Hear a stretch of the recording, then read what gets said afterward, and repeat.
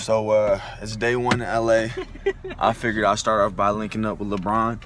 Um, LeBron, where are you? I'm gonna see if uh, I can get some shots up with Bronny. Uh, so I'll get it. I gotta get back in the car. You mean off, off? No, I know Derek Pardon though. He fr- No, I'm with the foundation. The found. You know, you know the foundation. No, I leave. Okay. Uh, I guess um, it's a no go for LeBron's house, but uh, uh, we'll try someone else. I don't know. We'll figure it out. This offseason, junior Barret Benson traveled to Los Angeles to participate in the Immersion Mentorship and Actualization Program through NU for Life, a Northwestern program dedicated to the professional development of Northwestern's student athletes. IMAP is a three to five day experience, kind of a immersion experience um, in your anticipated industry. So for me, it was television and film.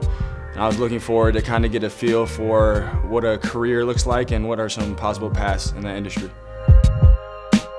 It was amazing. First of all, I got to stay with Charlie and his family, which was really fun to be out there with a teammate. And, um, and then also I met a lot of cool people. Uh, met with different people from HBO, Hulu, Netflix, went on Jimmy Kimmel Live. Uh, it was just a great experience seeing a lot of people at the top of the industry and, and being able to take some of their valuable time and learn from them. I'm by no standards, no means a master of paddleboarding, but I definitely am a solid beginner. So I would, uh, I would count as a success. I agree with that wholeheartedly. He's, he was very good, especially today in less windy conditions. Vast improvements, uh, really turning into a uh, California native. Yeah, I'm a solid, solid beginner for sure. But uh, that's all we got so far.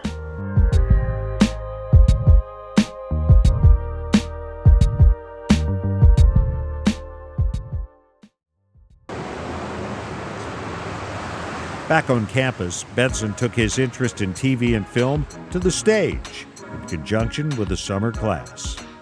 So I was definitely interested in writing for comedy, but uh, something I didn't expect that I was going to have to do was uh, perform a stand-up set actually, which was a completely different experience that I wasn't uh, planning on doing, but definitely was a rewarding experience afterwards. All of the guys on the team know how funny Barret is, uh, and I had never seen him do like an elongated monologue of any sort or any stand-up, obviously. But we all know he has such a great sense of humor and such like good comedic timing uh, that I knew he was going to kill it. And with being taught certain things about stand-up and how to do stand-up, he was going to be like, I knew he was going to kill it. So I was super excited about that. Leading up to my set, I was the most nervous I've probably ever been in my life.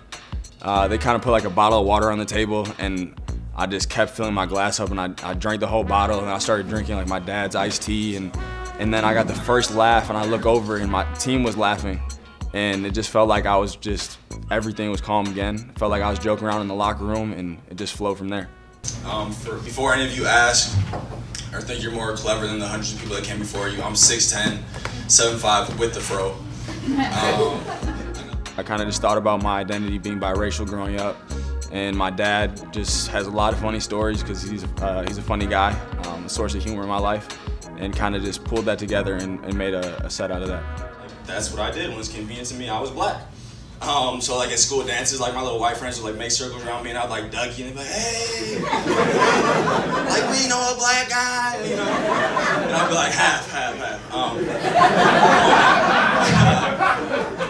and and like and I listened to a little rap too, but like I remember like when I was with my mom, I felt like I had to be white, and then when I was with my dad, I thought I had to be black, and so like I would hide like my iPod from my mom, like I didn't want her to know. I listened to rap, like she'd be devastated that her son was in like the hardcore tracks, like the Black Eyed Peas, you know. Um, so I always. Found it meant the world to me uh, to have my teammates there because it just felt like I had a, a real good support system, and, and that was a great experience for me. It was awesome. I thought I actually thought multiple kids in the class, because it was the whole class that did, they each did a five minute stand up thing, but I thought trying to be as unbiased as possible, I honestly thought Barret did the best. I thought he was really funny. He got consistent laughs throughout. So um, it went about as good as it could have gone, I think. It was really, really good.